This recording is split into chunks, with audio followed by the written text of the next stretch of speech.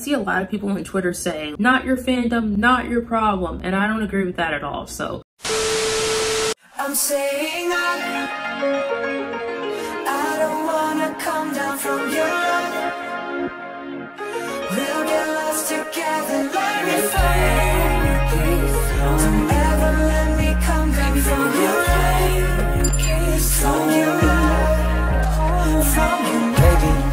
Hey guys, it's Bree here. If you're new to my channel, welcome and welcome back if you're a returning subscriber. So first of all, I'm recording on my phone today, so I'm hoping everything comes out okay. If the quality is okay, definitely let me know in the comments because at this point, my phone is more reliable than my camera. So definitely let me know in the comments if the quality looks okay, if I look weird or not, just please let your girl know. But anyway, I'm really excited about today's video because it's been a while since I've done an unpopular K-pop opinions video. So I decided to kind of of do like a part two of a video that I did like I believe a year or two ago and that is where I reacted to unpopular K-pop opinions from, you might have guessed it, Reddit. Reddit can be a little controversial, a little bit spicy, so this video should be interesting. I will be reacting to some unpopular opinions that I'm gonna hand pick from the unpopular opinions K-pop subreddit. So before we get into this video though, make sure to subscribe if you haven't already and ring the bell so you won't miss any of my multi-fandom K-pop uploads. And also make sure to check out my Discord server. At this time, we have about 1700 members. We're growing quickly, we're very active. It's a great place for you to talk to other K-pop K-pop fans, engage with my community, and you can also talk to me and get to know me there as well. Now let's get right into the video.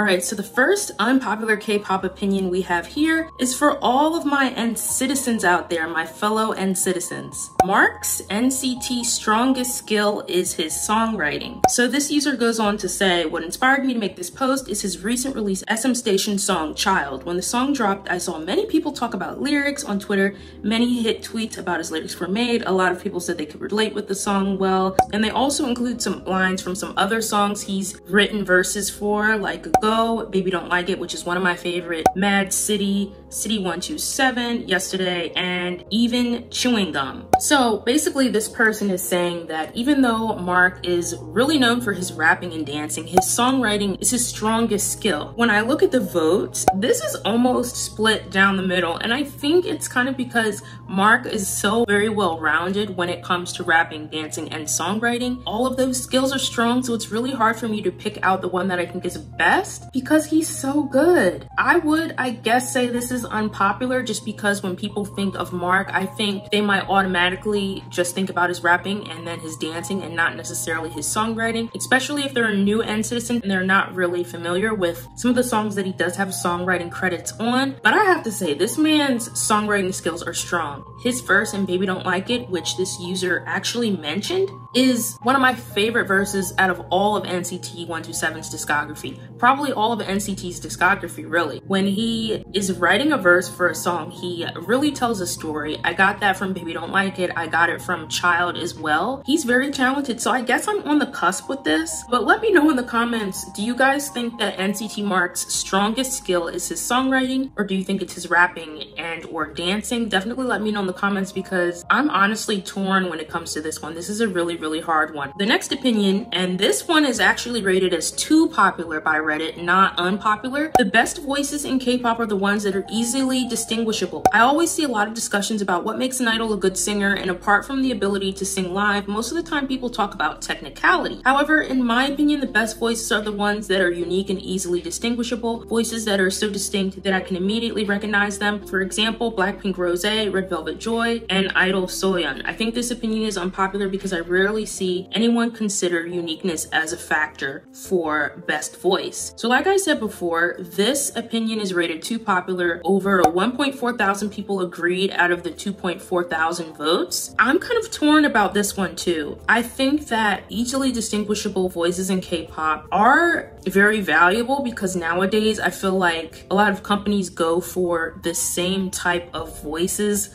like very bright, happy voices. Companies go for the same type of vocal tone. And I do really personally tend to drift towards the voices that sound so different as my favorites when it comes to idols. Just to give you a few examples, Taemin. Taemin's voice I think is pretty distinguishable. Jimin's voice is very distinguishable. I really like his voice as well. BoA, one of the most distinguishable voices that I can think of off the top of my head is Ha Sung-woon. Also Jonghyun, greatest of all time in my opinion. His voice is definitely very distinguishable. I haven't heard anyone that sounds like him in my opinion. So I do think having a distinguishable voice is very important in K-pop and I think that's why most people here agree. But I also do think technicality is important as well. I like listening to people that I feel like have um, good technical ability, have really good control over their voice, can do different things. So I do agree with this opinion, but I also do think that technicality is important as well. A lot of times in K-pop, when you first get into a group especially, you have a hard time distinguishing even the voices within that group, even the members within that group, just because I think companies go for the same type of voices. So it is really refreshing when you have an idol whose voice really, really stands out. Likes on a music video are much more accurate than views in showing popularity. This is unpopular because people focus on YouTube views way too much in determining success and popularity. Yeah, I definitely do agree with this because I don't know if you guys know this, but a lot of companies, when they release a track, they buy views. And what I mean by that is they run advertisements on YouTube where you might be watching a video, you might see an ad before that video, and then it's the music video in question. So that can count as a view. Brands run campaigns where you might be scrolling through YouTube, you see a video on your homepage and you click on it, and that's because it's an ad. So a lot of the times the views aren't always organic. The view to like ratio is a better way to tell how popular or how successful a music video really is just because companies do various things to generate views when it comes to advertisements and things like that. So I definitely agree with this opinion. I don't really consider it unpopular because I think most people know this, but maybe I'm wrong. Let me know what you guys think. Do you think this opinion is unpopular or do you think this is kind of like general knowledge when it comes to views on K-pop? Also, I think another point is there are some people that like just stream in music videos to get more views. So it's really like the same person just watching the video over and over again. So obviously if you're streaming from one account, you can watch a video multiple times, but you can only like it once unless you're making like multiple accounts. So in terms of like streaming parties, fandoms coming together and streaming, I definitely agree with this in reference to that as well. So the next one is I hate the step back choreo, GOT. There's something about it that just doesn't click right. This is my petty opinion divided in points. Like why are not all members dancing? The group is only seven members, but only three are on camera and dancing the majority of the time. The person, people who made it act like they are NCT Luna 17 and got out of ideas of what to do with the rest of the members. And the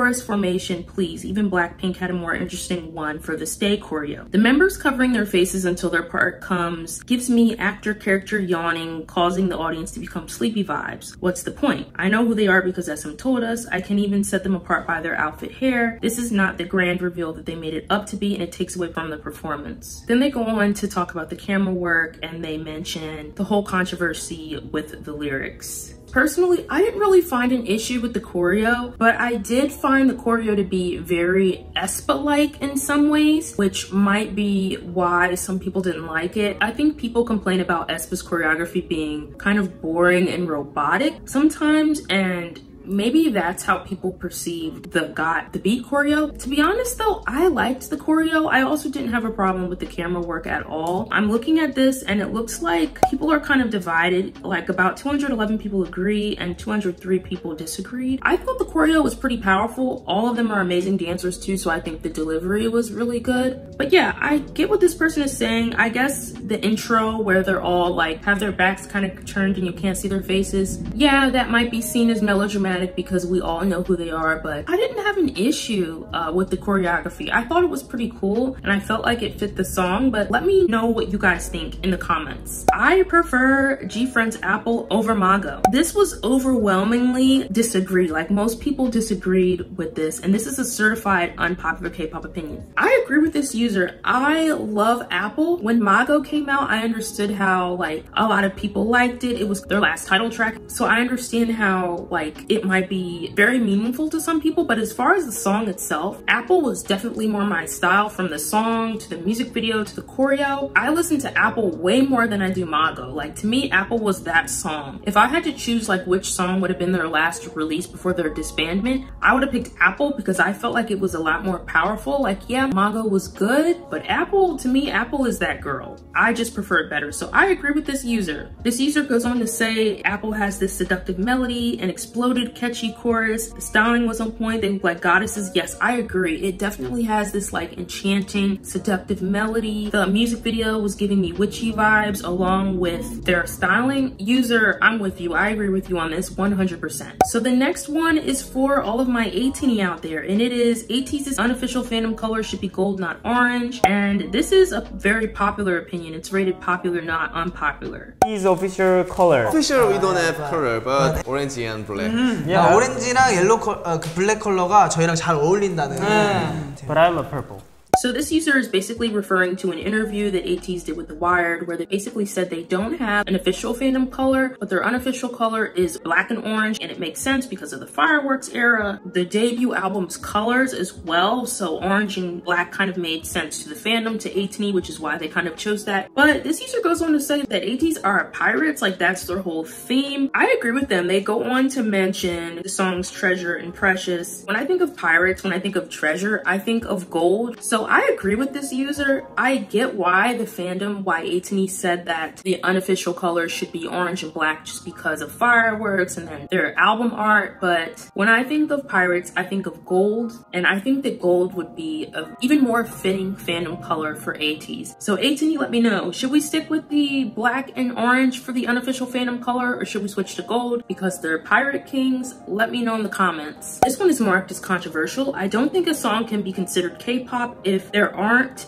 Korean lyrics. Now don't get me wrong, just because I don't consider a song K-pop doesn't mean the song is bad. There are a few English songs by K-pop idols that I love, but they go on to say that they don't think that just because a song is released by a K-pop artist, that that automatically makes it a K-pop song. I have to disagree. I don't think the language is the only factor that makes K-pop K-pop. I think K-pop is multifaceted. You have the fact that the song is released by a K-pop artist, that a K-pop company is backing them. There are also certain elements in K-pop that are very K-pop as far as like the visuals, the choreography. There are a lot of elements that you just kind of know or feel that it's a K-pop release. So I have to disagree and it looks like people overwhelmingly disagree with this opinion and they're saying it's controversial. I don't think that just because a K-pop idol releases a song in English that automatically makes it not a K-pop song because I don't think that we should put K-pop in a box to say that in order for it to be K-pop, it has to be in Korean and no other element that makes it K-pop matters. So I disagree with this opinion and I do think that it's pretty unpopular. We need to give 4th gen artists room to breathe. This opinion is unpopular because I see people bashing groups like aespa and Kep1er in particular for having a repetitive concept. I see people hating on Girl Crush so often it's crazy. It typically goes something along the lines of Kep1er, ITZY, aespa, etc. are so repetitive. One Blackpink is enough.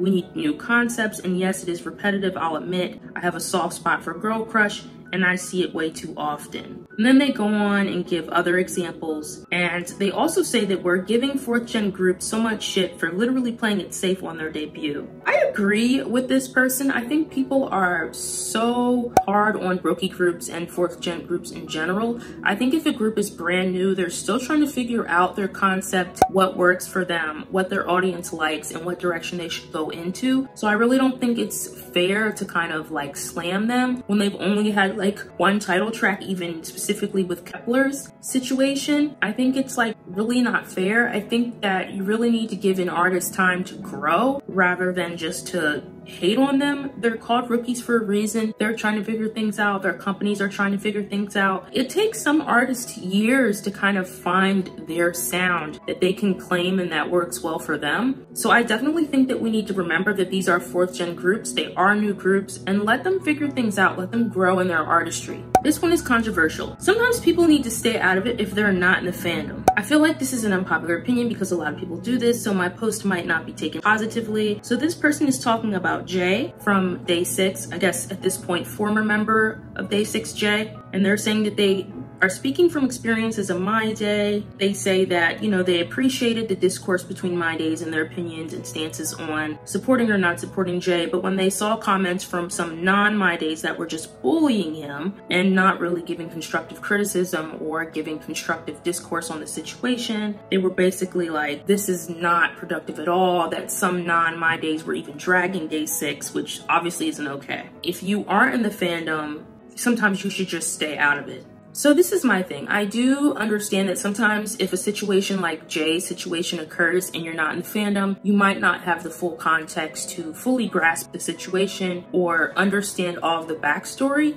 But I think as long as you're not bullying or just being toxic or not really adding anything productive to the conversation, I don't think being a fan or not being a fan matters. Like for example, I gave my opinion on the Jae situation, I wasn't a fan, but I kind of took myself out of it and tried to look at it from like an objective standpoint. I do get what they're saying because I did see a lot of non-my days dragging day six, dragging Jae, but I also don't think it's fair to gatekeep and say that just because you're not a part of the fandom, you just don't have any say because that's kind of ridiculous, right? At the end of the day, it's freedom of speech. If you have an opinion on a controversy, you're a fan of the idol or not, you can still say your opinion. Of course, there are going to be some people that are annoying and that might use situations like these to bully an idol or drag them down or kick them while they're down, but that's just life, unfortunately, and you can't really control that, and you can't use that as a reason to say that non-fans can't give their opinion. And I'm actually surprised that a lot of people agree with this. Um, I disagree.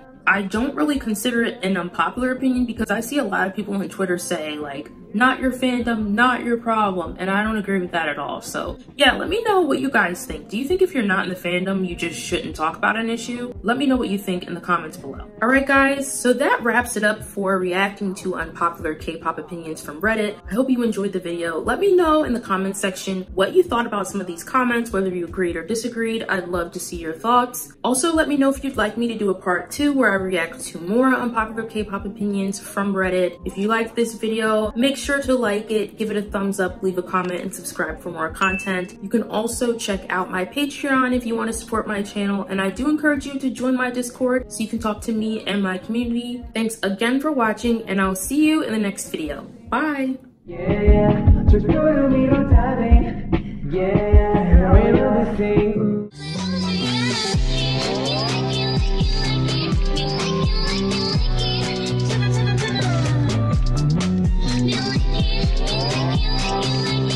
like, like, like, like, like, like,